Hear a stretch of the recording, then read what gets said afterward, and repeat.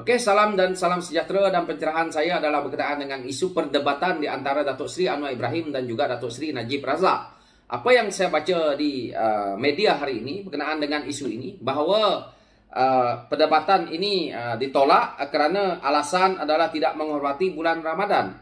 Ini yang saya baca di media ni. Dan alasan ini saya sudah pasti. Inilah cara Datuk Seri Najib apabila mengelak beliau tembak lepas tu beliau lari beliau tidak dapat nak memberi hujah selepas itu iaitu dengan cara begini beliau akan memfokuskan lagi kepada isu-isu lain dan yang nak menjawab isu seperti ini adalah macai-macai beliau.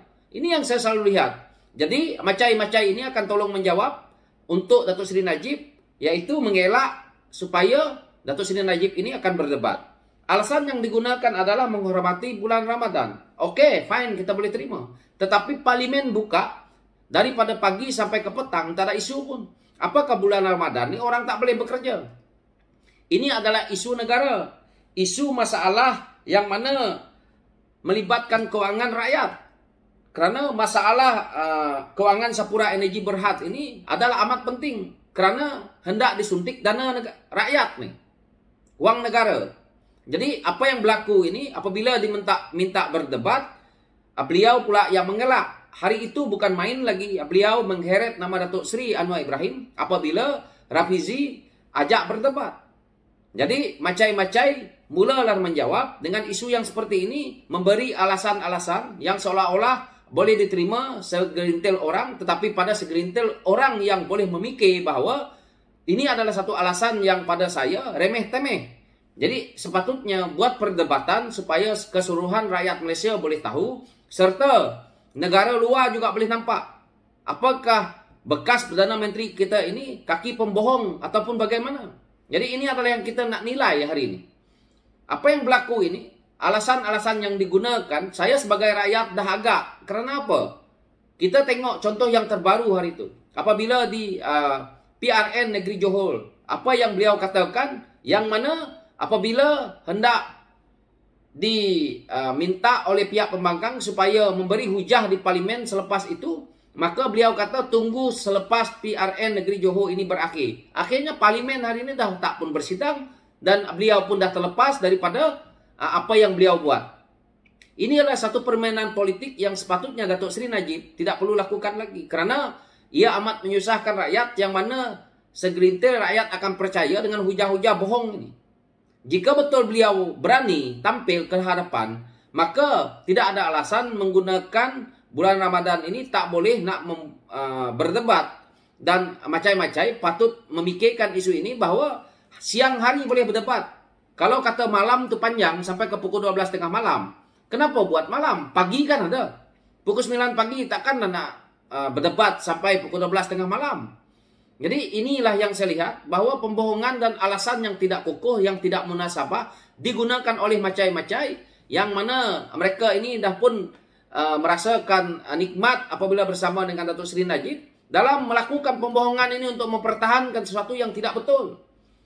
Walaupun hari ini mungkin macai-macai di sebelah sana kata saya macai kepada Datuk Seri Anwar Ibrahim tidak apa, tetapi hakikatnya saya ingin menegakkan satu keadilan yang mana Jangan kita membohongi rakyat dengan penipuan yang seperti ini supaya rakyat ini paham akan politik kita ini.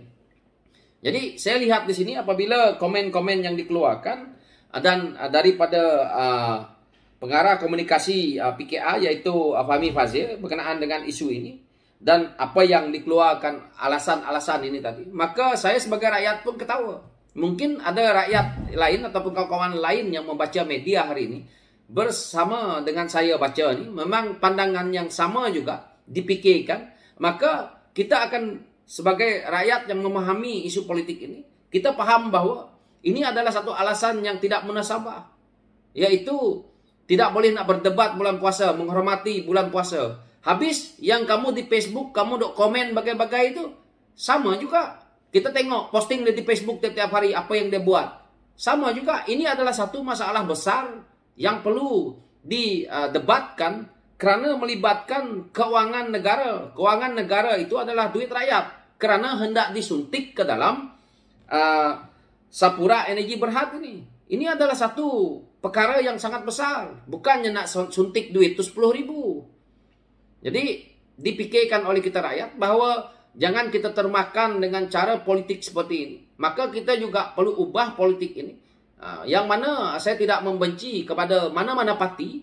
Tetapi cara politik yang dibuat oleh bekas Perdana Menteri kita ini adalah satu politik lama yang mana ini adalah uh, satu cara mereka untuk mengspinkan cerita yang mana inilah cara mereka dan uh, saya harap uh, kita rakyat ini paham jangan kita terpengaruh dengan cara ini yang mana apabila kita lihat di media sosial komen-komen yang dikeluarkan oleh beliau dan juga macai-macai beliau seolah-olah benda itu tidak terjadi contoh yang kita lihat sudah jelas 1MDB dipertahankan oleh ramai orang oleh mereka-mereka yang berpangkat uh, bukan rendah hanya hujah Rafizi Lamli yang waktu itu yang rakyat segerintir tidak juga mempercayai. Akhirnya hari ini kita dah lihat di Amerika apa terjadi dengan Roger Eng. Di Malaysia ini kita dah lihat. Dan banyak lagi yang tangkap dan duit 1MDB itu mengalir ke hulu ke hilir ke sana sini. Ini yang kita lihat yang besar-besar. Yang pergi ke macam-macam yang kecil ni kita tak nampak. Ya berapa ratus ribu, yang mungkin ke bawah satu juta. Ini adalah duit kita rakyat. Jadi sampai bila kita ini nak dibohongi oleh politik yang seperti ini. Sedangkan gaji kita rakyat ini, yang mana kalau kita nak tahu di uh, negeri-negeri yang boleh dikatakan miskin seperti Sabah, Sarawak, Kelantan, Terengganu, gaji rakyat yang kerja biasa ini, contohnya mereka yang kerja di kedai-kedai uh, ataupun di uh, shopping mall, di bawah 2000. Jadi pemimpin kita berjoli dengan duit sampai kita lihat apa yang berlaku dengan 1MDB.